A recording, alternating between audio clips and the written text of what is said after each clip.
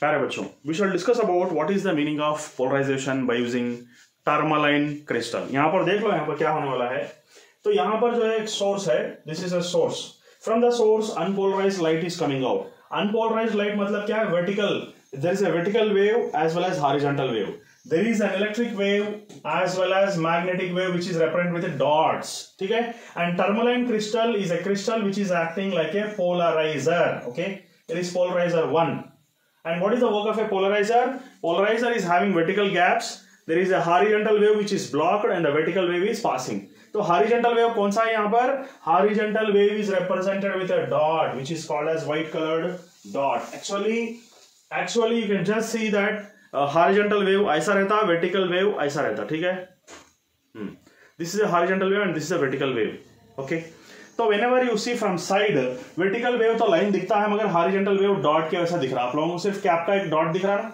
So like that तो यहाँ पर जो है अब अच्छी तरह से देख लीजिए तो यहाँ पर क्या होता there is vertical gaps vertical one will pass away whereas the horizontal one will be blocked तो हॉरिजेंटल वाला ब्लॉक हो गया वर्टिकल वाला निकल के चलेगा सो ये पोलराइजर वन का काम क्या है? It will be polarizing the dots dots तो फ़िल्टर हो गए यहाँ पर। तो अनपोलराइज लाइट को पोलराइज लाइट बना दिए। This is set to be unpolarized light okay and this is set to be polarized light जब डॉट निकल गया, जब from the sun when the light rays are coming its intensity is given by I not okay जब dots filter हो गया तो फिर क्या हो गया? 50 परसेंट इंटेंसिटी कम हो गई ना? तो here the intensity is taken as I not by two which is taken as I one okay So intensity is nothing but I naught by 2 ले लो इसको. We can take it as I not by 2 here. So intensity I1 is said to be I naught by 2 after passing through the first polarizer intensity will become I naught before passing the first polarizer there is no passing that's why I naught means not yet passed इसका मतलब ये है तो I naught by 2 हो गया जब polarizer 2 ये क्या हो रहा है this is called as polarizer 2 okay So after passing through the polarizer 2, we apply Malus law. What is the meaning of Malus law here? You can just see here. Malus law का मतलब क्या है मालूम? I2 is nothing but I1 cos square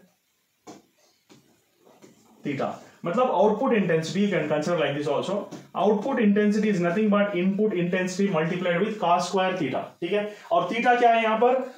Polarizer one is in this direction polarizer two is in this direction this is theta one this is polarizer one this is polarizer two So after passing port to the polarizer 2, intensity और घट जाती and that intensity is taken as I2 which is taken as I1 cos square theta because this and this is having angle theta here ठीक है ना तो I2 is nothing but I1 cos square theta तो यहाँ पर से जो intensity बाहर आ रही है उसके ऊपर मालूस लॉ अप्लाई करें इसको क्या बोलते हैं we call it as Malus law what is Malus law explaining here output intensity फिर से नीट से लिखता हूँ मैं आपको समझ में आने के लिए हुँ? output intensity is equal to input intensity cos square theta ठीक है तो where theta is said to be the angle between the two polarizers one is vertical one is little bit slant here okay थोड़ा slant हो गया तो ये हो गया I2 is equal to I1 cos square theta और एक polarizer जो है ना this is said to be polarizer this is said to be polarizer 3 okay तो वो कैसा है हॉरिजेंटली है अगर यहाँ पर मैं डाल दिया polarizer three I take it as P three and ये दोनों का बीच का एंगल क्या है फाइव है समझो is five angle from between P two and P three angle is five now yes I am going to apply Malus law second time here okay second time I am applying Malus law here, let the output intensity is i3 after passing polarizer 3 i3 is equal to input. Input क्या है यहाँ पर? I2 okay? I3 is equal to i2 cos square five क्यों cos square फाइव because ये इसके और इसके बीच का एंगल फाइव है और इसके इसके बीच का एंगल थीटा है। So I three is nothing but I two का स्क्वायर फाइव हो गया यहाँ पर। ओके okay, तो हम क्या करेंगे अभी? You just take this one and try to explain in beautiful way going to be i3 is equal to i2 i2 का मतलब ये सारी चीज़ें आते हैं। तो सबसे पहले यहाँ पर आई टू क्या है?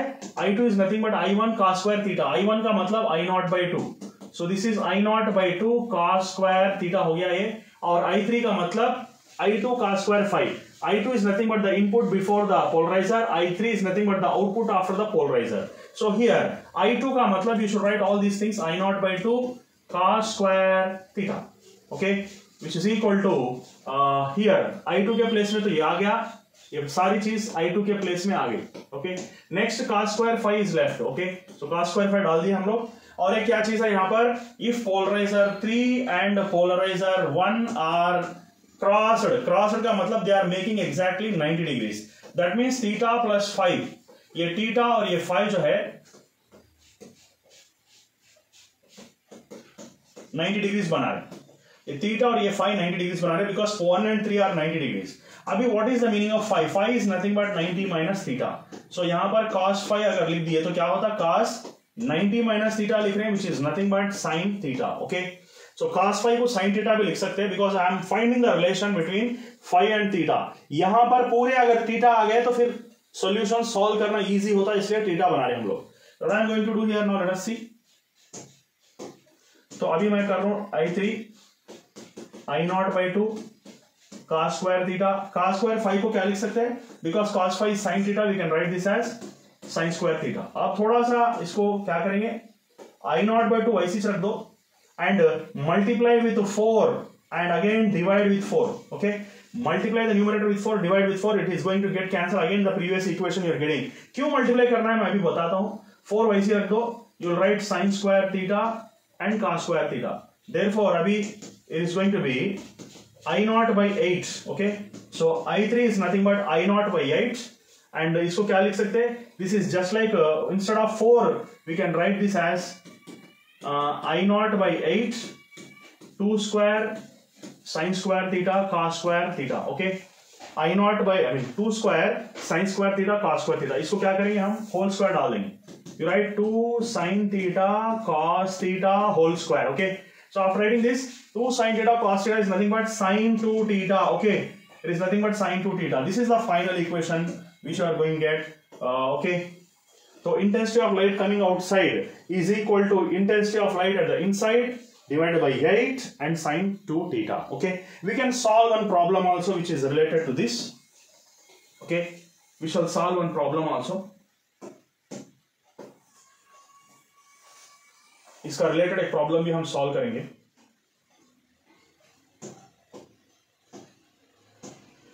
okay you just see here now अगर I naught if I naught is equal to 32 watts per meter square and I3 is nothing but 3 watts per meter square find theta okay तो I naught दे दिया 32 watts I3 भी दे दिया I3 is nothing but which is coming outside which is 33 दे दिया 3 watts per meter square and I naught is 32 watts पर metre square 32 अगर दे दिया question के अंदर, और थीटा पूछ रहा पोलराइजर वन और टू का बीच का एंगल पूछ रहा, और टू और थ्री का बीच का एंगल पूछ रहा, हम कर सकते इसको। So are you going to do you just write the solution and write the equation here so I three यही फॉर्मूला यूज़ करना है। आई थ्री के प्लेस में क्या है? थ्री है। और आई नॉट के प्लेस में क्या है? Thirty two divided by eight और ये साइन स्क्वायर थीटा क्योंकि two sine theta cos theta whole square is nothing but sine square two theta square two theta okay so sine square two theta आ गया यहाँ पर।